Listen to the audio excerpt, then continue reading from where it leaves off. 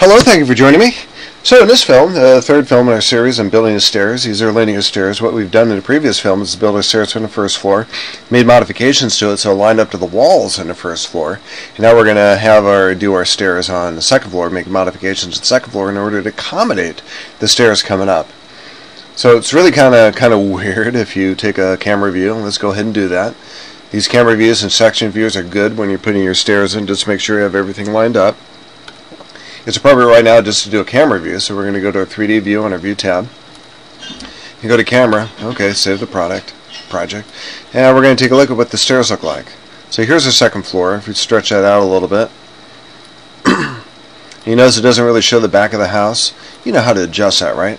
So if you go to our 3D view too, double click on that. Oh, yeah, we're already there. But go to the first floor, take our 3D view and tell it to show that camera.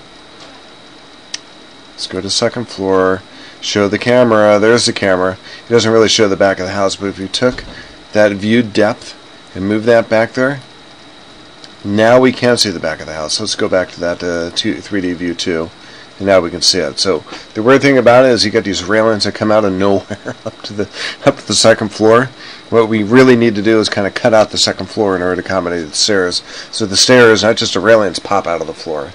The stairs don't really do really never pop out of the floor necessarily, but you should be able to. The kind of like levels of floors that go down, so it never goes below this second floor level. Okay, so let's go ahead and do that. Let's go to our second floor. And what we want to do is select that second floor. And sometimes it's tricky. If you have a, a, floor like this, we actually have elements, lines in here that are selectable. It's easy. If it's a like a nondescript floor, like a um, um, you know, a floor isn't really defined with any material, finished material on top, and it is kind of hard to select. And there are methods of doing that with the tab key and go to the edge of the wall in order to do that. Okay, so we have the floor selected, edit boundary, and what we have is enclosed geometry, this uh, large rectangle with a cutout for a front door. And what we want to do is uh, cut, uh, draw some more lines to have enclosed geometry within enclosed geometry.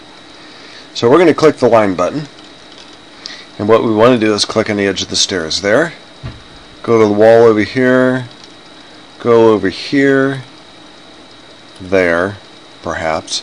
Now let's just have the landing included as well as the stairs that come up from the landing. And up. Eh, it's not really quite what we want.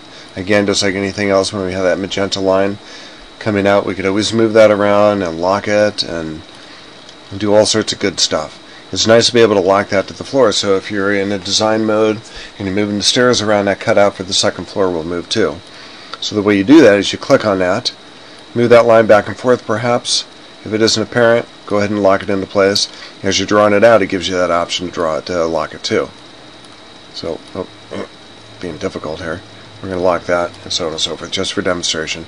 Okay, let's go to checkmark and see what it looks like. And because we made a mod modification to the floor, it's going to ask us again, would you like the walls that go up to this floor's level attached to its bottom? And that is yes. So our first floor walls will terminate there. And now that's our stairs there. So let's go to our 3D view of our camera. And let's rename that.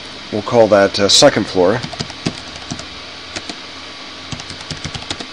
Second floor stairs, so we know what we're looking at. Stairs, stairs. And go to OK. Let's take a look at that. Yeah, that looks a lot better. Yeah, we're going to have a big kids room up here, so we're probably not going to put railings up here so I'm going to fall into that well.